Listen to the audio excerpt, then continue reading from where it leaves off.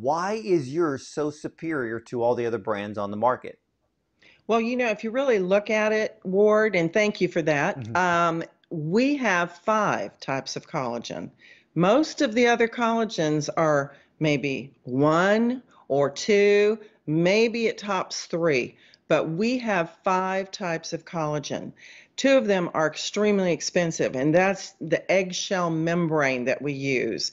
Very, very expensive. That's your number five and 10 uh, that's in our formulation. And then we have grass fed beef, we have free range chickens. We only use the healthiest uh, products that we can out there, and they're all sourced in the USA.